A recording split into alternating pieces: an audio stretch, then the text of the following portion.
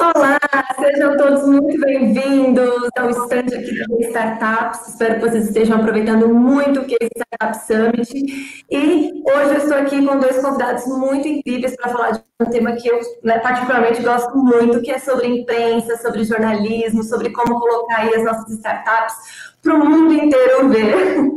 É, se vocês não me conhecem, eu sou a Ana Flávia, eu sou do time de comunicação e marketing aqui da Base Startups e eu tenho dois convidados muito incríveis para falar comigo hoje.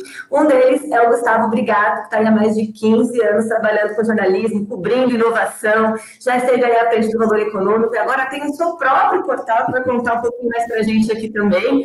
E o Bruno Pinheiro, que acho que vocês também já conhecem, que é da PR Comunicação, assessoria de imprensa. E, Bruno, há quantos anos? A Pina tem sete anos, mas eu sou assessor de imprensa há 15. É, o Bruno já, ó. Muito carnavais.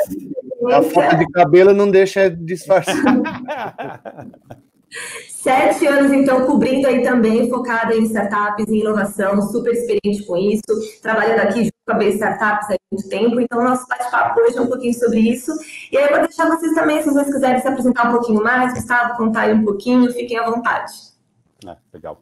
Bruno, quer começar? Você aqui? Não, você tem preferência, cara. Você está com, você tá com novidade boa, tem que anunciar antes. beleza, obrigado pela gentileza, obrigado pessoal, obrigado quem está acompanhando aí, obrigado pelo convite, Ana Flávia. É, bom, como você, como você disse, é, fiquei muito tempo, fiquei 12 anos, quase 12 anos no valor, 11 anos e 8 meses, e mais recentemente, nos últimos, sei lá, últimos cinco anos, é, vim acompanhando mais de perto. Quer dizer, sempre, sempre, sempre acompanhei startups, né? Mas era ainda empresas pequenas de tecnologia, né? Eram pequenos desenvolvedores de software, pequenas empresas de tecnologia lá atrás, não, não era startup, não tinha, não tinha ido buzz, né? É, mas aí depois, quando o movimento foi ganhando força e tal, eu acompanhei mais esse mundo das startups, do, do venture capital, e ficou aquela, aquela vontade vontade de, de cobrir mais de perto, me dedicar mais. E, e aí, no meio da pandemia, tomei a decisão de, de dar esse passo e, e, me lançar nessa, nessa aventura e virar fundador, que nem os fundadores que eu tenho falado o, nos, nos, últimos anos. Né? Acho que me contaminou um pouco tá, ter contato com, com esse mundo e tá, tá, tá bem divertido. Lancei o startups.com.br no, no fim de julho e tá divertido, tá legal, tá, tá acontecendo muita coisa, tá muito, tá muito mais puxado do que eu imaginei que ia ser. É, e, e, mas tá, tá bem legal, tá bem legal. Sou eu, minha vez. Vai lá, Bruno. Boa, então, é, obrigado, Aninha, pelo convite, obrigado, ABS, pelo convite. Mais um ano, né? A gente é, da Piara é, é, assessoria de imprensa da BS Startup, mas é assessoria de imprensa também no Case, além de ser mantenedor da BS, além de ser parceiro, então a gente está uh, dividindo o sonho com a BS desde o começo, então para a gente é uma honra e não é convite, é intimação, então tem que participar, não tem conversa. É, é, é, bom trocar ideia com quem, quem convive no nosso meio há muito tempo. Pô, Gustavo, como vocês já viram, a gente já, já se fala há muito tempo, né? eu sou macaco velho, então já, já vendo é, pautas desde 2005, no mercado de startups desde 2009. Quantas e quantas vezes eu tentei é, com o Gustavo emplacar algumas, inclusive, algumas eu consegui, a maioria das vezes não, porque é ótimo isso, isso quer dizer que é, o critério dele é bem, é, é, é, é bem rígido, que para a gente... Chato, é, chato, jornalista, é, legal. Tá certo, tem que ser, tem que ser. E, e a gente aqui na Pia, nós vamos completar agora em 2021 oito anos de operação, a gente tem hoje 62 clientes, é, nós somos assessoria de imprensa além da B Startups, mas de empresas como a Sambatec, como a Zup, como a Liga Ventures, como a, a, Samba, a Sambatec, eu já falei, a Liga Ventures, a Bossa Nova e outras mais é, 50 e poucas marcas. Mas nesse período a gente já ajudou a lançar e já ajudou a, a divulgar mais de 200 startups. Uh, o que dá para a gente hoje o título de, de especializada no mercado de inovação, no mercado de startups, no mercado de empreendedorismo. Mas é isso. Bom, é, ou seja, estamos com os especialistas aqui para a gente tirar todas as suas dúvidas, então aproveitem, assistam bastante esse conteúdo. E aproveitando o gancho do que o Gustavo, você comentou aí que no começo, né, eram pequenas startups, pequenas empresas, havia, havia muito, eu lembro que existia muito uma preocupação de explicar o que era startup para a empresa, né, existia muito esse momento. E eu não sei, tenho sentido muito um amadurecimento nesses últimos anos de imprensa relacionado a isso, acho que pelo menos até das, dos jornalistas que vêm procurar ver startups para conteúdo já estão mais amadurecidos, já estão buscando saber sobre unicórnios, já querem dados de mercado, já querem saber mais sobre isso. Vocês também sentem que teve esse amadurecimento de imprensa, que hoje o foco está mais desenvolvido nesse assunto? Ah, sem dúvida, sem dúvida. Acho que o assunto está mais está mais em voga, as pessoas entendem mais, já, você já tem gerações né, formadas de, de empreendedores, de fundos, é, então você já tem uma, um entendimento maior, um entendimento melhor do que, que, do que, que é uma startup, o que, que é um investimento, é, quais são as, a, as, as dores e, e quais são as, as oportunidades. Então, até, até um pouco por isso que vem o, o, o meu projeto do, do, Startups, que é um pouco, poxa, todo mundo acho que está no ecossistema aí que conhece, sempre ficou com aquela de, ah, por que, que o TechCrunch não vem para o Brasil? Por que, que não tem um TechCrunch brasileiro, né? Sempre, a gente sempre, ou, sempre ouviu isso. E, cara, acho que até, sei lá, um, dois anos atrás não tinha porque não tinha. Não, não, não tinha o quê? Não tinha assunto não tinha o que você falar. É, pô, imagina se tivesse o TechCrunch no Brasil em 2008, 2007. Você ia falar de quem? Do Buscapé, da Juliana, do, do, do, Flores Online, Juliana Flores e da Spring Wireless, que eram um dos grandes cases ali aquela, naquele momento, né? Você não ia falar de nada. Hoje, você, hoje você tem 13 mil, pelo menos 13 mil opções aí para 13, 14 mil, depende do número, né? É, para falar. É, então você tem consistência, você tem é, não só os fundadores, não só as startups, mas você tem os fundos de venture capital, você tem os bancos querendo, querendo olhar, você tem aceleradora, sei lá, você tem empresa querendo investir, investindo bastante. Então, assim, você tem um ecossistema, né? Agora você tem, a, a, a você tem assunto, você tem substrato. É, e eu acho que é, que, que, é, que é isso mesmo que está acontecendo. Ainda tem coisas a amadurecer, ainda tem. Eu, eu pelo menos, uh, acho que precisa de uma coisa mais de transparência. Pô, tem que falar valuation, tem que falar valor de rodada, participação de fundos, é, o fundo tem que falar qual que é o, qual que é o retorno do, dos pros acionistas, assim, ainda tem, tem coisas a melhorar, mas já, a gente já evoluiu bastante, eu acho que agora a gente tem um mercado de verdade para falar. Como é bom ver um jornalista falando tudo que a gente fala para o nosso cliente, que eu tenho que falar para ele, falar, olha, tem que abrir o valor do aporte, tem que abrir o valuation, tem que dar algum número para ele trabalhar. É, mas isso mostra, é, como, como o Gustavo falou, que é, de fato é um, amadurecimento da, da mídia com relação à imprensa. Ah, eu me lembro que eu comecei o trabalho de assessoria para startups em 2009. Eu fui o, primeiro assessor de imprensa de uma empresa que muita gente considera a primeira startup no modelo de garagem aqui do Brasil, que é a Bubox. Isso foi lá em 2009. Uh, e, e, eu lembro de ligar para os jornalistas e falar, pô, quero te apresentar uma startup, e os caras falaram o que, que é uma startup. Né? E aí eu tinha que. Eh, aí eu sentia dificuldade de, antes de, de vender a pauta da empresa, ter que explicar o que era uma startup.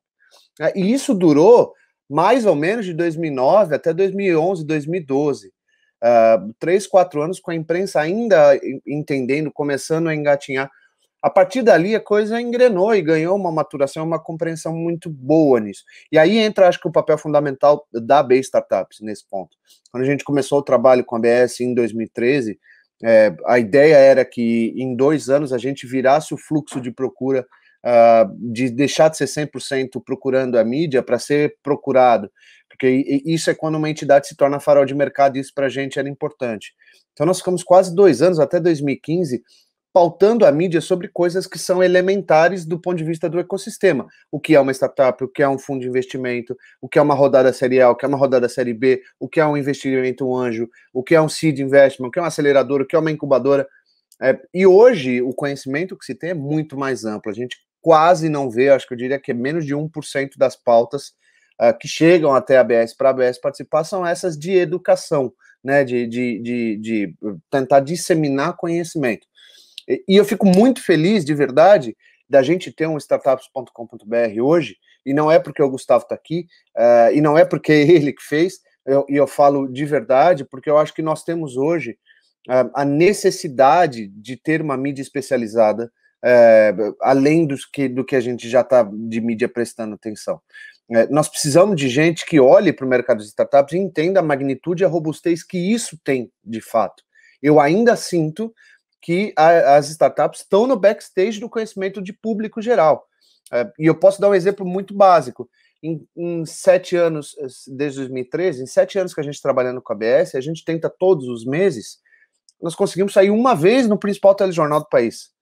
E olha que a gente tenta todos os meses, né? Então, assim, é, ainda é pouco ainda é pouco atraente para mídia mainstream, para mídia pouco especializada, e eu acho que essa é a função uh, uh, do, de uma assessoria de imprensa, levar o conhecimento para todos. Mas a chegada do startups.com.br é um, um, ponto muito interessante para começar a chamar a atenção da mídia mainstream, para falar, opa, peraí, se a gente tem uma mídia forte, segmentada, se o jornalista do porte, do Gustavo, uh, fez esse projeto, é porque o negócio a gente precisa prestar atenção. Por isso é que eu acho que é um marco relevante. Exatamente.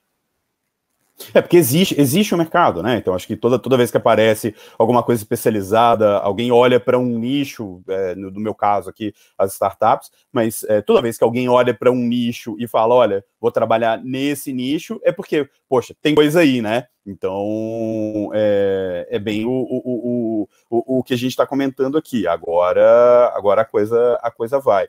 Ainda tem um encantamento é, digamos assim, né, com as startups, ah, cuticute, que legal, aqueles menininhos, ah, aquele povo da internet, sabe, aquele jovenzinho, ainda tem um encantamento, assim, ainda tem uma aura é, mística sobre, sobre, sobre o assunto, mas eu acho que isso aos poucos também tá, tá, tá caindo e as pessoas estão percebendo que, bicho, isso aqui é legal, é bonitinho, mas é negócio, é gente trabalhando, é gente fazendo coisa legal, e, e até a pandemia mostrou, olha só, o, esse, aquele aplicativozinho tá salvando a tua vida, cara. Você tá pedindo comida, você tá fazendo as entregas, o mundo não parou por conta do aplicativozinho ali que aquele jovenzinho desenvolveu, sabe? É, não, é, não, é, não, é, não é qualquer coisa. É, eu falo que é, se você perguntar para um cara no interior de um estado que fora dos grandes centros, ele sabe como é startup, ele vai falar que não. Agora, se você perguntar se ele conhece o iFood, ele vai falar que sim. Se ele já ouviu falar no Uber, ele vai falar que sim.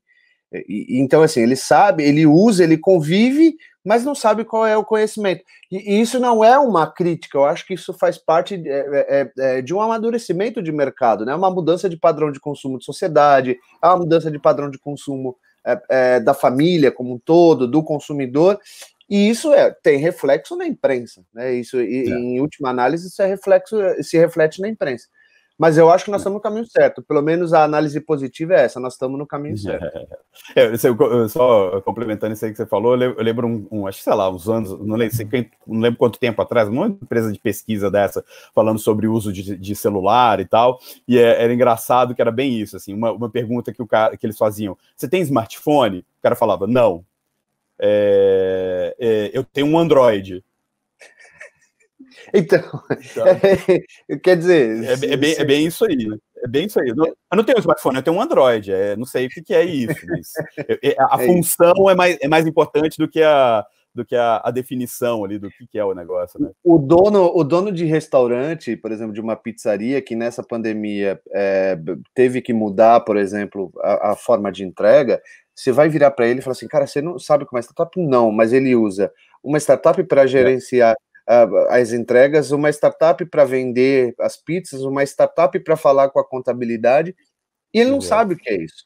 Então, não assim, é, é, é, por isso que eu ainda tenho a sensação de que é, o mercado de startups ele ainda não chegou né, na frente do palco para o grande público. Ainda Sim. existe um conhecimento muito segmentado, mas isso também faz parte de um aprendizado natural de conhecimento empírico da sociedade como um todo. É. E acho que é um trabalho todo que a gente faz muito, né? De tirar essa coisa muito genérica do que é startup e até de termos. Eu sei que a gente tem uma dificuldade muito grande, a gente tem muitos termos em inglês, muita coisa, né? Do que é startup, CEO, seed, não sei o quê. E quando a gente vai para uma imprensa mais tradicional e vai falar com ela, a gente tem que ter todo um trabalho de traduzir, explicar o que é o pitch, como é que fala. E eu acho que isso é um pouco de maturidade de aprendizado que a gente tem tido. E realmente, startups e outras plataformas que são especializadas nisso quebra essas barreiras e começam a conversar de uma maneira mais direta e simples com quem acompanha. E aí, até puxando esse gancho, então, já que nós estamos falando que o ambiente está favorável e que a mídia está cada vez mais falando sobre startups, sobre o que, que ela está falando, né? É, a gente tem muito, Gustavo, eu tenho muito, quando eu converso com outros empreendedores, e pode ser desde o estágio de validação, quando eles ainda estão começando, até startups de entração, Ana, mas o que, que vira pauta? O que, que é release? Como é que eu transformo a minha informação em conteúdo e passo? E tem sempre essa dúvida, né? Do que, que é realmente as matérias que o imprensa está cobrindo. E aí eu queria ver da sua experiência de editor, o que, que chama atenção? São números, são dados? O que, que hoje está sendo coberto sobre startups? É, não, sem, sem dúvida, assim, jornalista quer contar história, né? Quer, constar, quer contar boas histórias. Então, é, é, a, o, o, storytelling ali, o, o a, a, construção, a, a origem, a, o histórico da, do, do, dos fundadores da, da, da, da, empresa, sem dúvida, é, é um ponto importante. E, e acaba, acaba que assim, é, você precisa de um, o que a gente chama de gancho, né? Você precisa de uma, de uma coisa forte para justificar, para fazer uma matéria. Então acaba que, na maioria das vezes, o, o, o investimento, o aporte, ou, ou um investimento que a empresa está fazendo, alguma coisa nesse sentido mais pontual, acaba sendo o, o, o, gancho mais forte, porque você tem ali uma, uma coisa para começar a, a, a, contar uma história. Então, por exemplo, é, sei lá, a startup está recebendo um aporte, está recebendo um aporte de um fundo tal, tal, tal, tal. É, legal, pode ser interessante. Aí, quando aí, aí, aí volta o negócio da mídia tradicional e tal. Por exemplo, quando você vai para o valor, vai para o Estadão e tal, eles fazem de tudo escrevem de tudo, de política, de, de, de, Brasil, de cotidiano e tal. Então, o espaço é disputado. O espaço ali do, do, do valor, da, das páginas do valor, ou do, do, mesmo do site, do tempo do, do repórter, é, é, é, disputado com diversos outros assuntos. Então, por isso que acaba que o valor, o, o, a, a, o valor da rodada, o valor do aporte, o valor do investimento, acaba sendo uma, o, o, principal, uh, o principal componente, porque se há uma coisa de 1 milhão, 500 mil, e tem um projeto da Vale de 10 bilhões tem um IPO de 3 bilhões, porra, 3 bilhões chama muito mais atenção do que o, o, o 1 milhão.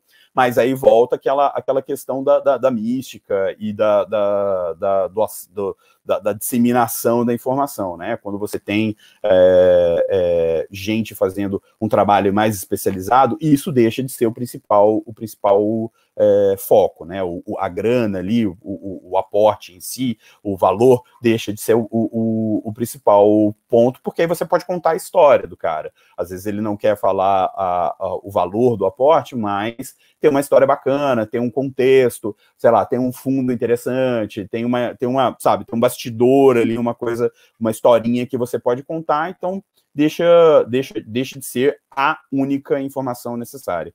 É, mas é sempre bom, voltando àquele ponto que eu estava falando, por transparência e ajudar até o desenvolvimento do mercado. Eu acho que não necessariamente é, é, as pessoas têm que perder. Acho que tem, dois, tem duas coisas que impactam nisso, né? É, o cara às vezes tem medo por segurança, né? De falar, ah, vão achar que eu tô rico porque eu tô recebendo investimento, e tem questão também de relevância. Ah, meu investimento não é tão grande, é, vai parecer que eu sou pequeno e tal. Então acho que tem que quebrar um pouco essas, essas, essas conceitos e, e porque isso ajuda o ecossistema a se desenvolver. É, então, para o jornalista, é, é, eu acho que tem que tirar um pouco essa pecha de ah, um milhão não vale, dois milhões não vale, tem que ser de 100 milhões para cima, é, e mas isso ainda é uma, uma, informação importante. E contexto, cara, história, é, bastidor, sabe? Onde a coisa está inserida. Isso, isso é uma coisa importante também. É, sei lá, uma startup, uma health tech está recebendo um aporte, tá, legal. Ah, mas e aí, como é que está esse mercado de health tech? Onde que esse cara está situado? É, é, quem são os competidores? Entendeu? Dá um panorama, um panorama completo, porque as melhores fontes, assim, as melhores, uh, as melhores pessoas para conversar, uh, tem que ser uma via de mão dupla. Então, as, os, o, o jornalista ajuda escrevendo a matéria, mas a fonte também tem que ajudar o jornalista dando informação importante, dando informação relevante, né? Então, informações relevantes, como, como eu disse, contexto, mercado, é, quem são os fundos, quem são os, os, os, os empreendedores, é, como é que está a competição, para onde está indo, de onde veio, para onde está indo. Então, é todo, todo, esse, todo esse histórico ali, o, o, pacote, né? Porque as melhores fontes, como eu estava dizendo, são os caras que ajudam, assim, o cara, te, o cara que te ajuda, o cara que te responde a, as coisas que você pergunta, mesmo evasivamente, às vezes, mas é, o cara que, quando você precisa, o cara te atende, não te atende só quando ele quer falar, isso é um ponto importante também. É, sempre, sempre falo isso, cara. Relação com, com imprensa, com mídia, é relacionamento. Não é você ter um release hoje e amanhã você some e tal. Não. Cara, pede, pede pro Bruno ligar pro Gustavo, apresenta a empresa, conversa uma vez, conversa duas. Daqui a três, três, três meses, porra, tem um aporte, tem uma novidade poxa, legal, Gustavo, eu já, já, eu já conheço esse cara, esse fundador, é, já peguei uma confiança, sei que ele entende das coisas, entendo o negócio da empresa, beleza, vamos lá. Porque isso ajuda até nessa coisa da, da, da que a gente estava falando no começo, de, de, de cultura, né? De, de, de explicar as coisas. Então, na hora que eu vou falar, ao invés de cair numa entrevista ali de meia hora, do nada, de paraquedas, e perguntar para o cara só aquelas coisas óbvias, que, como diz um colega, só existem três pautas no mundo, o resto é variação, ao invés de só perguntar aquelas perguntas básicas, eu falo, pô, uma vez a gente conversou, é, aquele dia a gente conversou sobre isso, sobre aquilo outro, é, ainda é assim, ou o que, que evoluiu, sabe? Você cria um histórico, cria um relacionamento. Pô, por que, que a, a Jessica Lessing é, é faz um trabalho é, eu ia falar um palavrão, faz um trabalho muito bom no The Information. Porque ali, porra, você tem um cara que cobre. Tem, você tem um repórter que cobre Facebook, você tem um repórter que cobre Apple, você tem um repórter que cobre Google, sabe? O cara tá ali conversando com as pessoas o dia inteiro, se relacionando só com os caras envolvidos naque, naquele mundo da empresa. Daí você acha que a, a startup que vai lá e contrata o Bruno ou qualquer outra assessoria para fazer um job de um release, de um anúncio o jornalista vai conseguir fazer uma, uma história legal? Às vezes sim, mas na maioria das vezes não, porque é uma coisa pontual. Então você tem que ir fazer devagarzinho lá, construir uma reputação até para o próprio fundador, é, é, para ele mesmo como, como empresário. Daqui a dois anos, se a empresa não dá certo, ele abre uma outra coisa, porra, você estava naquela outra, né? Não deu certo, e agora? O que, que você está tentando, sabe? Você ajuda o, o, a própria roda a girar. Eu vou pedir autorização aqui para a para pegar essa, esse painel. Eu vou passar em looping, vou ficar repetindo isso para os empreendedores, porque vocês estão ouvindo da boca de um jornalista, vocês não estão mais ouvindo da minha boca. Quer dizer, eu não estou vendendo a minha sardinha, né? Vocês estão ouvindo da boca de um cara que ficou 12 anos no Valor Econômico, que hoje é fundador do próprio, da próprio veículo de comunicação, dizendo exatamente o que a gente fala, que é, quando você. E aí eu vou, vou dividir o meu comentário em três. A primeira parte é mais do que a gente sempre diz para os clientes que aquilo que você acha que é divulgável, na maioria dos casos não é. E aquilo que você despreza como divulgável, na maioria dos casos é. Então, assim, quem tem que exercer esse filtro, infelizmente, é a assessoria de imprensa.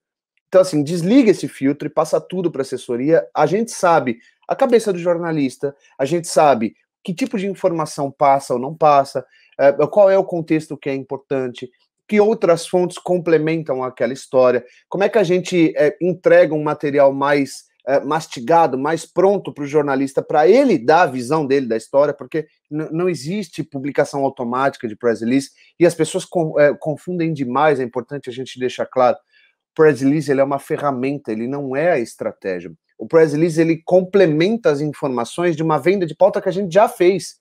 Eu sou o cara que sou radicalmente contra o envio do press release seco, sabe? No estilo cold call. Eu não mando um press release e peço pro meu time não mandar um press release para depois vender a pauta.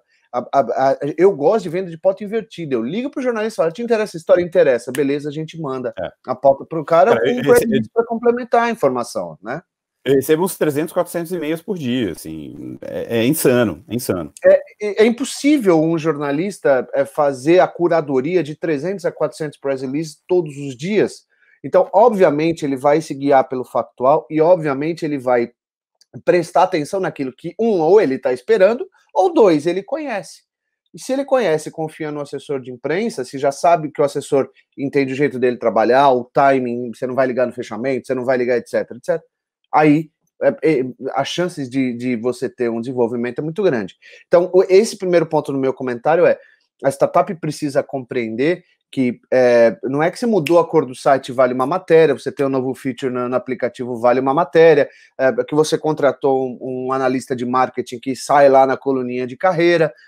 É, é importante prestar atenção e você só vai saber aquilo que a mídia cobre consumindo a mídia. Esse é o primeiro ponto. Né? Se você não consumir a imprensa, Exatamente. você não tem parâmetro para você guiar a sua comunicação seja com assessoria de imprensa, seja com especialista de comunicação que você tenha no seu time. Se você não lê jornal, se você não lê revista, se é. você não lê os portais, dificilmente vai ter parâmetro para dizer, olha, eu sei que a mídia cobre isso, eu vou sugerir, eu vou guiar para esse caminho. Então, esse primeiro ponto é de compreensão. O segundo ponto do meu comentário é, cai muito em ferramenta, e eu vou repetir aqui que o press release existe um, um, entendimento equivocado da maioria das startups, que eu acho que é importante desmistificar, é que o press release ele não é a estratégia, ele é só um complemento. E a gente tem outras ferramentas. Então, eu prefiro e tenho preferido cada vez mais a sugestão de pauta do que o press release. Porque é muito raro hoje em dia, o Gustavo pode comprovar isso, reportagem sobre uma startup só. É, é, muito, é, é impossível que você. É, quer dizer, impossível não, é improvável que uma reportagem cubra apenas uma startup, tem que ser um fato relevante, tem que ser um aporte significativo, tem que ser uma venda, um exit, uma parceria brutal, gigantesca. Mas é muito raro você colocar, você ter uma matéria hoje institucional que a gente chama.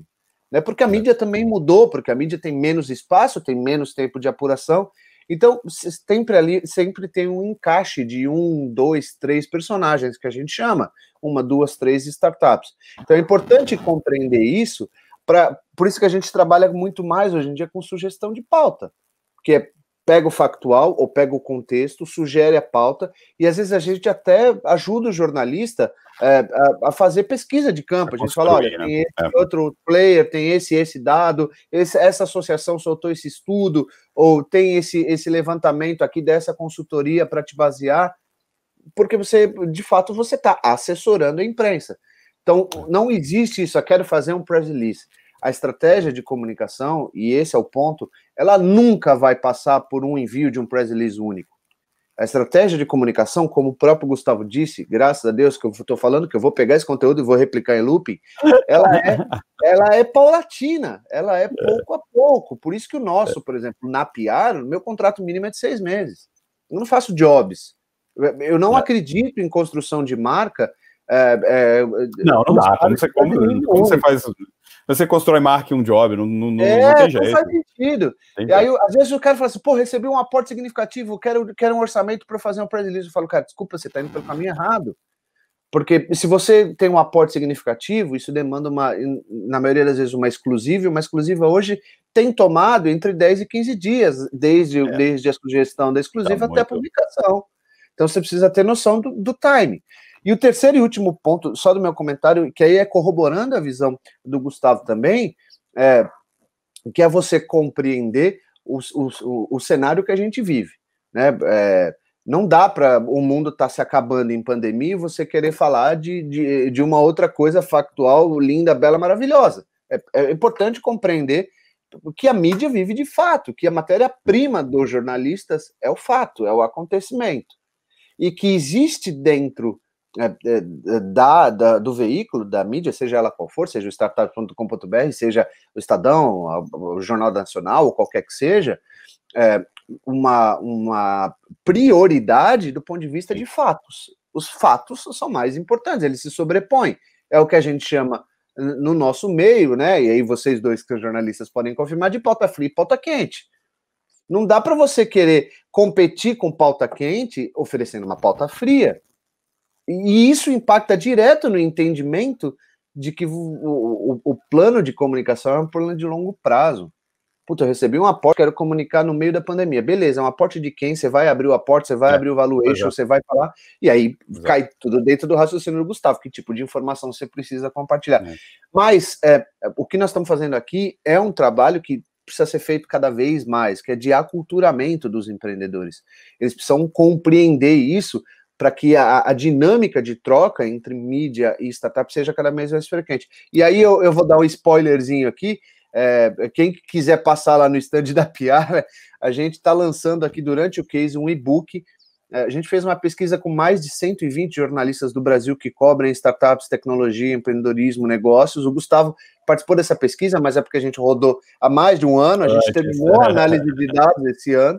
Uh, e a gente extraiu ali quais as preferências dos jornalistas com relação às startups, como é a melhor forma de abordagem, por quem ele prefere ser, abordado, esse tipo de coisa. Acho que é, depois a gente pode é, marcar um outro papo para falar sobre isso, mas é, o fundamental é entender, cara, vocês estão ouvindo um dos jornalistas mais respeitados do país, de startups, Sim, dizer que. Não, é você mesmo, você mesmo. É, e, e, dizer que é, o envio de press release não funciona. Não. Ponto. É, é, esse é o princípio. Assim, então, não confundam as coisas. assessoria de imprensa, PR é um trabalho de longo prazo, não é algo pontual. E, e eu acho legal a gente complementar quando a gente fala de PR e quando a gente está falando do que é relacionar com a imprensa, que é qual o objetivo disso para a startup, que é reconhecimento, é, é, um trabalho de branding com a sua marca que realmente exige longo prazo. Não dá para você, como startup, querer necessariamente a venda ou captação de cliente através de imprensa. Isso é um trabalho a longo prazo. Então, achei muito legal também esse comentário do Gustavo, de você ter um relacionamento porque necessariamente é, é, a empresa, por exemplo, nós, como startups, nos procuram muitas vezes com, ah, eu preciso de startups para fazer uma matéria, às vezes como personagem, como complemento. Então, você se relacionar com o ecossistema já ajuda muito quando você está falando de imprensa. Está dentro do Startup Base, que é a nossa base de dados, onde muitas das informações da Camila, que é a nossa, que atende a gente lá dentro da PR, fica todo dia ela, Ana, tem um jornalista fazendo essa matéria. Normalmente a gente usa muito o Startup Base como fonte de dados para trazer esse complemento. E é um trabalho, a gente tem muito, o Gustavo já fez vários encontros de relacionamento aqui com os nossos diretores aqui na B Startups, porque é isso, é uma conversa que não necessariamente vai virar uma matéria no dia seguinte, mas é você mostrar o seu trabalho, fazer aos poucos, e eu sempre, eu sei que o Bruno gosta disso, né? é, é reconhecimento, é você trazer confiança da sua empresa para o mercado.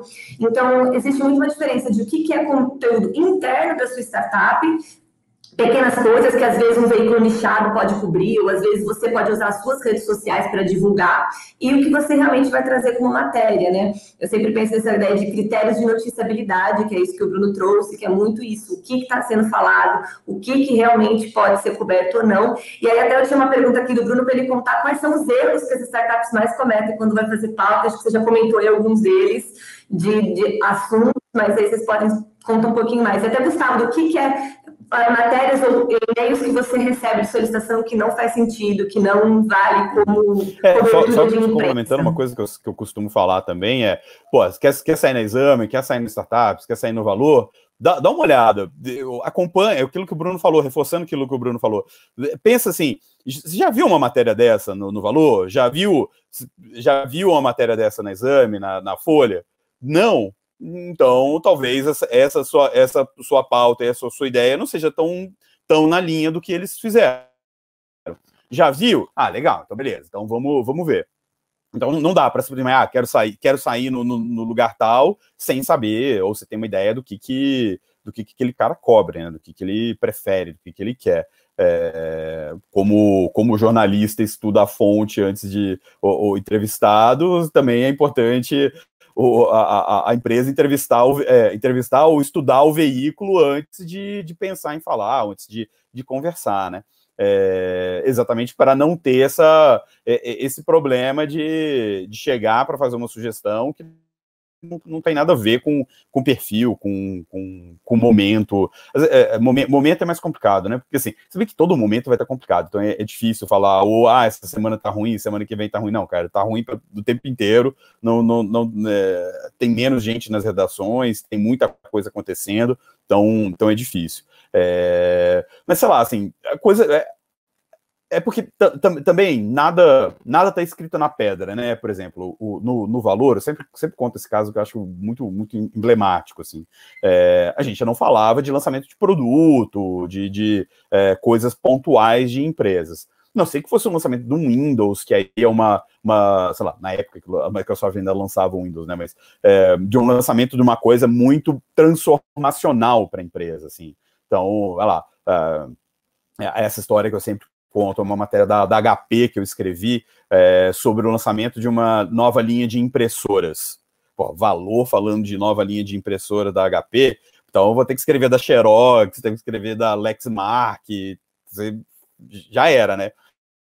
Mas é, por que, que eu escrevi essa história? Porque um tempo antes, sei lá, algumas semanas antes, eu tinha ido no Tecnopuc visitar o centro de pesquisa da HP, isso naquela época lá do, do Mário do Mário Ancelone ainda, quando a HP ainda era HP. É, e lá eles comentaram alguma coisa do, de, de, um grupo desenvolvendo uma tecnologia de impressão em nuvem. É, é, o grupo lá de investimento da, da, da, HP fazendo esse desenvolvimento, participando de um projeto, tal, tal, tal. Passou algumas semanas, eles vieram com o lançamento de uma nova linha de, de impressoras, com tecnologia de cloud printing, é, de impressão em nuvem, que era estava começando esse, esse movimento, em, chegando essa tecnologia. Aí eu falei, aí eu liguei Lé com Cré, tá vendo a coisa do relacionamento, do, das coisas acontecendo? Falei, ué, mas peraí, essa tecnologia de cloud printing da impressora, vocês falaram disso lá no Tec, Tecnopuc, tem alguma coisa a ver? E, e tinha. É, a parte da tecnologia que estava sendo embarcada nas impressoras tinha sido desenvolvido no Tecnopuc. Então tinha DNA brasileiro nesse produto que estava sendo lançado globalmente. Pô, e ficou uma matéria super legal, assim, falando, ó, impressoras com DNA brasileiro, sei lá, agora eu não lembro como é que era a história, mas, enfim, o, o Valor fez uma matéria sobre o lançamento de impressora da HP porque tinha desenvolvimento brasileiro, tinha participação de brasileiros. Eu contei um pouquinho da história, do projeto, tal, tal, tal. Então, assim, é, quando eu digo que nada está escrito em pedra, dá para falar, dá para fazer falar sobre o lançamento de um produto no valor. Mas qual que é esse produto? Qual que é o contexto? É, qual, que, qual que é a história por trás daquilo ali? Dá para falar de um aporte pequeno no, no, no startups? Dá, mas qual que é a história? qual que é o contexto, sabe? Então é, é, é, é se situar onde você quer sair, ou, qual que você acha que é a estratégia, e, e, e moldar ali a, o discurso a, a, adequar àquela, àquela publicação. Eu vou, eu vou complementar o do Gustavo dizendo que é o seguinte, que é, em 2011, 2012, se não me engano, eu já trabalhava com startups, trabalhava em outra agência, e a gente conseguiu emplacar naquela época, toda startup que entrava na agência, a gente conseguia emplacar uma exclusiva de lançamento de chegada ao mercado, naquela época, 2011, 2012. E eu lembro que o cúmulo do cúmulo chegou a gente a emplacar no Brasil Econômico uma matéria de meia página de uma startup de cartão postal é, que tinha acabado de lançar o MVP assim, é impensável nos dias de hoje. Porque não, três meses hoje depois, falar nunca. não. É impensável. A, é impensável. A, não ser que se, a não ser que seja de alguém já conhecido, de alguém, sabe? Exato, mas aí o cara tem lastro, tem comprovação, tem o background não. todo dele que ajuda. Mas naquela, naquela é impensável replicar isso. Mas a gente parece que está falando de 20, 30 anos. Não, a gente está falando de 5 anos atrás. 5, 6 anos atrás.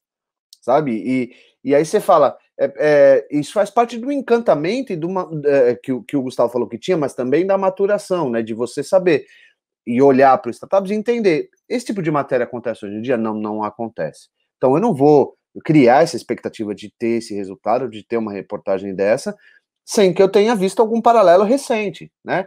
E, e acontece muito, né? A Ana pediu para eu, eu listar alguns erros. Um dos mais frequentes é, pô, o cara tá lá, ele vê um concorrente que faz alguma coisa, o cara saiu numa reportagem e falou assim: ó, oh, a gente tinha que tá aqui. Aí a gente fala assim, cara, você acabou de sair numa reportagem, não dá para você sair em todas, é impossível você sair em todas. O jornalista não vai ficar repetindo fonte a todo tempo, né? Ele tem que. É, e, e, mais do que isso, teu concorrente pode ter uma assessoria de imprensa também, e ele contou uma história legal. Né? Você não vai estar em todas. Ah, mas não. Então, assim, você tem que trabalhar com as armas que você tem. Então, esse é o primeiro erro, é achar que você vai estar em todas as reportagens do mesmo veículo ou em todas que o seu concorrente estiver. O segundo erro frequente, que eu acho que é, que é relevante a gente dividir, é de, de esperar é, que a mídia tem alguma obrigação de, de cobertura, porque ela não tem. Né? Então, assim, pô, eu recebi um aporte, eu abri o valor, eu, eu abri o valuation, eu dei entrevista e exclusiva não rolou. Ela tem que publicar, não, ela não tem que publicar. Né? Assim, é, porque você tem um editor que define, você tem a priorização diária, você tem o factual que briga, você tem diversos elementos que é impossível de controlar. Então, por isso é que quando se contrata uma assessoria de imprensa, não se pode dar garantias. Aqui na Piara a gente não dá garantia nenhuma. Tem diversos elementos que a gente não controla. Eu consigo garantir infraestrutura e know-how. O resto acabou, faz parte do jogo. A gente vai mitigando o risco. Ah, e acho que mais um erro é, é, frequente é, é justamente isso que o Gustavo falou. Não existe, e eu recebo muito, muita ligação, muita procura de gente querendo construir a imagem do empreendedor. Né? As pessoas me ligam e falam assim, pô, eu quero o mesmo trabalho que você fez para o Gustavo Caetano e para Alfredo Soares. Aí eu falo assim, cara, eu nunca trabalhei nem para o Gustavo e nem para o Alfredo. Eu trabalhei para Sambatec e para Xtec. Eu, eu construí histórias de CNPJ em que os CPF se tornaram ativos da marca. É diferente. Então você eh, não, não existe. É, eu quero contratar uma assessoria para mim, pra, eu profissional, e eu recebo muito isso. Isso é um erro frequente. Nenhum CNPJ se sustenta sem contar a história do CPF, mas nenhum CPF se sustenta sem ter um CNPJ por trás. A mídia não compra isso. Se você ligar para o Gustavo e falar, meu, eu quero divulgar esse especialista, a primeira pergunta que o Gustavo vai falar é assim: o que, que ele construiu? Qual é a história dele? Que empresa que ele está conduzindo? É. Então, o Gustavo virou o que é hoje. Não, e, e, por, só, só, complementando rapidinho. E, e às vezes o, acontece. O, mas... o, Gustavo tá Caetano, claro. da Sambatec, virou o que é hoje, a referência que é empreendedorismo, porque ele construiu a história da Sambatec. Porque a Sambatec é uma das referências em, em tecnologia no mercado dela. Porque a Sambatec é, construiu uma história incrível de, de, parceria, inclusive, com a Microsoft. Então, assim, o Alfredo só é a referência que é hoje porque ele criou uma empresa do zero, bootstrap, sem investimento nenhum, e vendeu para a maior empresa de e-commerce da América Latina, que são uma das maiores do mundo. Então, é, é, óbvio que a imprensa vai se interessar no próximo negócio do Gustavo Caetano, no próximo negócio do Alfredo. Agora, é, isso não quer dizer que lá, quando o Alfredo começou a divulgação, todo mundo queria conhecê-lo. Todo mundo queria saber quem ele era. Então, assim, não existe construção de marca para CPF, existe construção de marca para CNPJ. É, é, é, eu acho que esse é o erro, é o mais comum hoje em dia. Desculpa, Gustavo, pode. Não, pode não, eu, eu, eu, não eu, eu, eu, eu que peço desculpa, não, só, só era só para fazer um ponto, assim, só para complementar. Às vezes acontece, às vezes, às vezes tem, tem uns caras aí que, que, que, uns caras, as pessoas que, que, que até entra nessa, só que não sustenta, cara, não sustenta.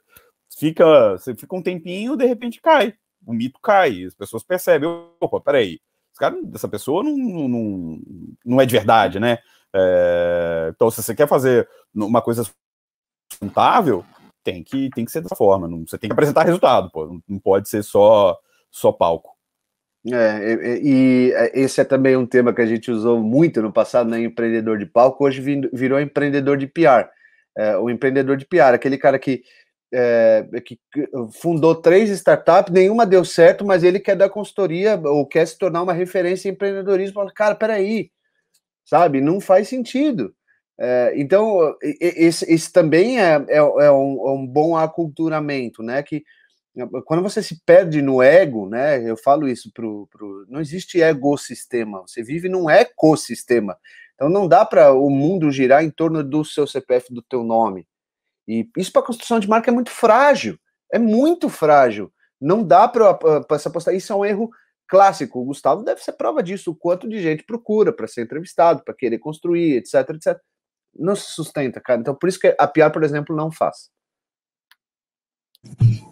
E aí, até puxando esse gancho desse relacionamento com a imprensa, que a gente está falando muito de entrevista, uma dúvida que eu acho até legal você, Gustavo, como jornalista, para falar, eu falo muito também com parte de assessoria, porque também sou muito mais na parte de assessoria, que é quando um, um empreendedor ele dá entrevista para os jornalistas, às vezes eles conversam por meia hora, 40 minutos, bate esse papo, porque realmente funciona como background aí para a matéria. Mas aí quando sai, não necessariamente tudo que a pessoa falou aparece. E às vezes tem muito uma preocupação, assim, muito empreendedor de ter aspas, de ter ali a fala dele colocada. E aí, falar com a pessoa e saiu uma linha ali. E aí eu queria que você contasse um pouquinho dessa parte da visão mesmo de jornalista, de como que funciona uma entrevista, do que, que é legal você falar, às vezes de pontuar e quando você está batendo um papo com o jornalista. É, às vezes as pessoas ficam, ficam bravas, né? Que não, não sai, não, não aparece, ou sai pequeno, é, não foi legal e tal, fica. Não, mas não é nada pessoal, cara. Assim, às vezes, é, às vezes não rola, às vezes por espaço. Por... No online é mais difícil falar essa coisa do espaço, mas é, às vezes pro que vai para o impresso, ficou com, com espaço menor, do que você imaginava, ou a outra pessoa falou coisas mais legais, pode acontecer, é, um outro entrevistado falou coisas mais legais, aí você acabou tendo que espremer a, a, a outra pessoa ali.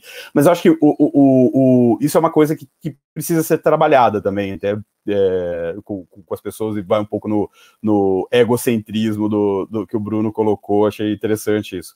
Que, e, assim, você está falando ali, você está dando um contexto, você está falando da sua empresa, se, é, se você se, se, for citado, é legal, mas também é legal, às vezes você não usa aquele cara no, no direto, você usa no raciocínio da, da matéria, ou para construir aquela, aquela, aquela ideia, né? É, poxa, as matérias mais legais, pô, lê, lê o Wall Street Journal, lê o, Time, o, o, New York Times, lê o The Information, Te, é, TechCrunch, as matérias mais legais, assim, até que eu escrevo mesmo, são matérias que, que, eu, que, eu, que tem raciocínio, que você conta a história e você coloca as, umas frases ali, o cara, para referendar aquilo, ou para contradizer, ou para dar um, um, um contexto. É, as, as, matérias blocadas, aquela coisa que você fala com 10 caras e fica um bloco, bloco, bloco, bloco, bloco, ali é chato pra caramba para o leitor e às vezes para o jornalista escrever. Então tem que, tem que segurar um pouquinho a ansiedade, controlar um pouco aí a, o, as expectativas para, às vezes, vai sair naquele bloquinho ali, contar aquela história, ou às vezes aquela conversa vai servir mais de background, de contexto para uma outra história maior e, eventualmente, numa próxima matéria. A, aproveita um, contexto, ou aproveita aquele, aquele contato. Assim, nada nada desperdiçado, cara, assim, no, no, no sentido de, falou hoje, não sai na matéria amanhã, daqui a duas semanas quando eu for fazer uma outra matéria, uma outra história, pô, lembrei daquele cara, aquela conversa foi bacana, ou, pô, você tinha me dado aquele, eu tinha, tinha, ele tinha me dado uma informação, aí você volta, assim, é, a gente tenta não ter memória curta, de, de esquecer as coisas, estamos, é, DDA tá, tá difícil, né, tem muita coisa, muita, muita informação, então fica todo mundo meio com DDA, assim, mas é, o ideal é você não ter, a gente, é, o jornalista tenta não ter memória curta e, e, e, voltar depois outras fontes, outras coisas é legal. Às vezes não rola, às vezes não rola. Às vezes você fala com o cara uma hora, é, tem, tem que ser honesto, às vezes você fala com o cara uma hora, uma hora e meia, duas horas e. Nah, não.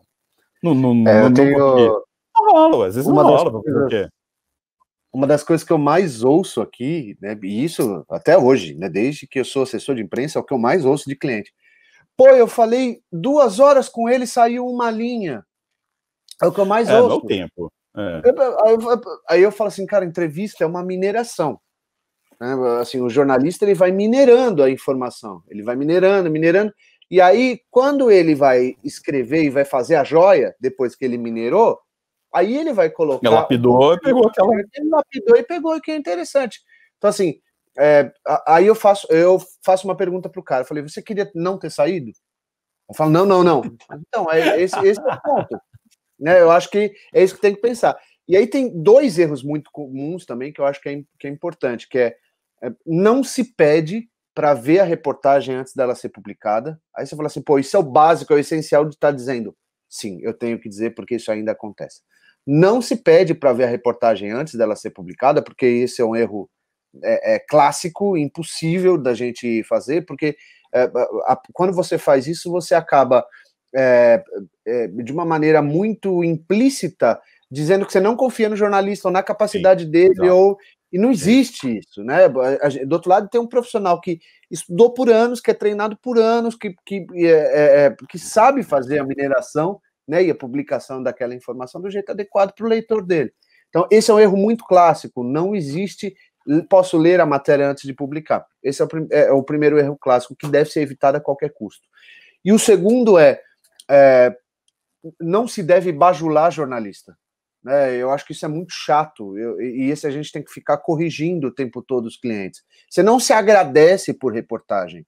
Né? Você não, o jornalista não está fazendo um favor para você. Fazendo é, o trabalho dele. Eu, sou, exato, não estou trabalhando para você, estou fazendo o meu trabalho. Exato. Ah, muito obrigado pela matéria, que não, não é obrigado, não se pode agradecer reportagem, não se pode bajular o jornalista. É, é, é, é preciso a gente entender que é uma relação de troca. O jornalista precisa da informação, você precisa do espaço. Como é que a gente chega numa, num mix interessante que seja bom para o jornalista e para a empresa? Né? E fora que a curadoria disso não é responsabilidade da assessoria e nem da startup, isso é responsabilidade do jornalista e, em alguns casos, eu não diria na maioria deles, mas em alguns casos até do editor, nem do próprio uhum. jornalista. Né? Então, é, é importante evitar esse erro. É só, só, voltando na questão da, da conversa, é, não, não, é questão de tempo, ah, ficou duas horas, tinha que aproveitar todo o conteúdo. Às vezes, porra, tem, tem entrevista de duas horas que é, que é genial, que, que você faz um monte de coisa, tem entrevista de duas horas, uma hora que, que não sai nada, e tem entrevista de 10, 15 minutos que, porra, é revolucionário, assim, você escreve rios e rios de, de, de coisas, aproveita tudo. É, então, não, não é uma questão de, ah, fico, quanto mais tempo você fica com, com o jornalista, você, mais, mais espaços você deveria ter. Não, às vezes você ficou uma hora ali e não conseguiu passar mensagem nenhuma. É, é isso mesmo, é isso mesmo. Às então, é, hora, é, Às vezes você ficou meia hora, dez minutos, você passou um turbilhão de, de informação. É, e eu é, conheço, então, é modular conheço, Tem cliente que, pô, 10 minutos de entrevista é suficiente para ele, ele dar a opinião dele. Tem cliente que precisa de uma hora para conseguir extrair alguma coisa. Mas é natural também, isso é um trabalho também de você vai aprendendo, né? Depois que você deu entrevista de uma hora e viu que saiu uma linha, aí você fala assim, bom, entendi qual é o lado do jornalismo, agora eu vou mais para falar em 10 minutos. Com certeza. Gente, o papo está muito bom. Ficaria aqui o resto do dia a gente batendo esse assunto, mas nós estamos chegando ao final do nosso bate-papo aqui. É, acho que foram ótimos aprendizados e muitas dicas importantes. Vocês tiveram aí um, um, super assessor de imprensa falando desse lado de relacionamento, de vocês entenderem como isso é importante. Um jornalista contando também o lado dele, de como fazer a matéria, de o que, que é legal de trabalhar. Então, espero que nas próximas entrevistas, nos próximos conteúdos que vocês vão fazer, coloquem esses aprendizados em jogo e busquem sempre informação. Espero que vocês estejam gostando muito do nosso evento. Tem muito mais programação enrolando, então acompanhe. Passem no stand da PR para vocês saberem um pouquinho mais desse spoiler aí que o Bruno comentou, dessa nova pesquisa que ele está lançando. E acompanhe também, então eu queria muito mais uma vez agradecer Gustavo e Bruno por esse bate-papo. E eu queria deixar agora só os últimos para vocês falarem tchau e falarem onde as pessoas podem encontrar, Gustavo, onde as pessoas podem conhecer suas matérias, onde elas te encontram, o Bruno também, para a gente finalizar aqui o bate-papo. Não, legal, eu quero, agradeço muito o, o, o convite é, da B Startups, acompanho o trabalho da B Startups há bastante tempo, relevância que ela tem no, no ecossistema, e agora tentando me inserir também, né, é, tornar o, o Startups uma, uma referência no, no mercado, e o recado é, leiam Startups. startups.com.br, é, ideia, é, por exemplo, no momento ainda estou como eu keep, tô, é um show de um, um homem só, é, como toda boa startup, né? É, e, e, e, mas é a produção diária e tal, noticiário, é, bastidores, análises, tudo, tudo que está acontecendo aí no, no mercado, essa, essa, é a, essa é a proposta do startups, no LinkedIn, Instagram, no, no, no startups.com.br, então pode, Twitter também, pode, pode acompanhar lá e me liguem. me procurem aí para sugestões é, pautas. Procure, procure para o Gustavo para oferecer pautas, mas eh, tenta aí por assessoria de imprensa, porque às vezes o do it yourself in, eh, com jornalista é meio complicado. Mas é, queria agradecer também né, o convite. Eu falei que não é convite, é intimação e é mesmo. A B Startups é parte da nossa história, nós fazemos parte da história da BS. Então é, é, é uma, é, é, uma, é uma relação muito sinérgica e isso, para mim, é um prazer estar aqui. É, agradecer o prazer de falar com o Gustavo Brigato, que é um cara que, pela primeira vez, nós estamos batendo papo de comunicação, depois de anos eu ligando para vender pauta só, né, Gustavo? Verdade. Ou acompanhando o almoço com você, né? A gente almoçou. Eu já almocei com o Gustavo, às vezes, mais do que com um parente meu, mas. Né, mas a gente pouco conversava, porque eu deixava um bom almoço de relacionamento é quando o cliente e jornalistas falam e o assessor de empresa fica quietinho. Mas é um prazer estar aqui contigo, é, é, é, é muito bacana, é prazeroso ver o startups é, tendo nascido e, e, sabendo que tá, nasceu pelas suas mãos para a gente é, é, é, é, motivo de comemoração. dizer que para a gente fazer parte de comunicação para startups é uma missão, então a gente não está aqui como mais uma assessoria que enxergou oportunidade num nicho, a gente nasceu dentro do ecossistema, a gente se sente parte do ecossistema, uh, e convidar para passar lá no estande da PR, para baixar o e-book uh, de como a mídia vê as startups e a, o relacionamento com assessorias de imprensa, uh, tá lá para quem passar, uh, e quem quiser falar comigo, meu canal de preferência é sempre ou Instagram ou LinkedIn, que são os mais rápidos, aqueles que eu respondo imediatamente. No Instagram, arroba Bruno L. Pinheiro, e no LinkedIn é só você colocar Bruno Pinheiro que você vai encontrar. Obrigado mais uma vez, Gustavo, prazerzão. Aninha, prazer estar aqui. Obrigado. Imagina, eu que agradeço. Gente, espero que vocês continuem aí acompanhando a programação. Procurem também a Base Startups, nós estamos no stand, se você quiser bater um papo sobre o Startup Base, sobre a nossa base de dados, sobre como se relacionar com o mercado, com o ecossistema. Se você está aí uma startup que está começando o seu negócio, pode bater um papo também, procura a gente no nosso stand. Continua por aqui e continue acompanhando a programação. Nos vemos numa próxima oportunidade e até mais.